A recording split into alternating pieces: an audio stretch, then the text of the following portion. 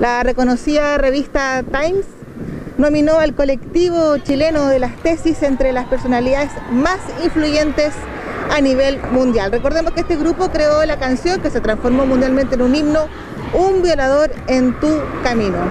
El grupo está conformado por Paula Cometa, Dafne Valdés, Sibila Sotomayor y Lea Cáceres. Ellas, eh, al, conocer este nombramiento a nivel internacional, agradecieron este, esto que se haya destacado, esta iniciativa artística que se ha conocido en todo el mundo y en varios idiomas. Vamos a escuchar lo que ellas declararon. Estamos muy agradecidas por el reconocimiento que eh, ha realizado la revista Time hacia nuestro trabajo artístico y activista. Sin embargo, estamos convencidas que el feminismo es lo, más influyente del año 2020 y esperamos que lo siga siendo durante todos los años venideros para avanzar hacia esa sociedad más justa, diversa y feminista con la que soñamos. No nos deja de sorprender el constante apoyo que hemos recibido este último año desde nuestros círculos más cercanos, locales, nacionales e internacionales. Sin duda este último nos impacta considerando que en este país estamos acostumbradas a ser perseguidas, censuradas y denunciadas.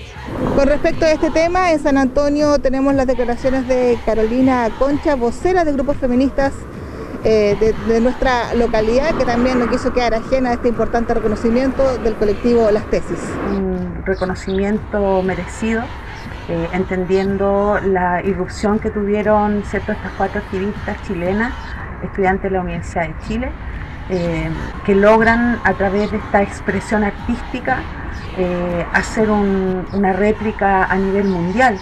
de hecho, para nosotros como activistas locales, territoriales, nacionales, fue bastante emocionante ver replicándose ¿cierto? esta coreografía, esta, esta declaración. En relación a este importante reconocimiento hacia el colectivo Las Tesis, también tenemos una importante eh, opinión y tiene que ver con un san antonino, eh, psicólogo, especialista en psicoanálisis, eh, que vive en Brasil y que se declara totalmente seguidor y admirador de las tesis. Los invito a escuchar lo que él reconoce en este importante grupo. Las tesis, hoy ya materializadas o escritas, son reconocidas en el mundo como un colectivo de individualidades donde ellas hablan de la desigualdad que han vivido, que los hombres las hemos hecho vivir durante todo un tiempo bajo la opresión del machismo y la cultura solapada del hombre misógino.